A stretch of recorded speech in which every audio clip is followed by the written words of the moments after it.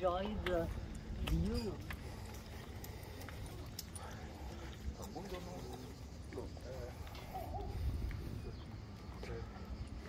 Have you a car? Car complete.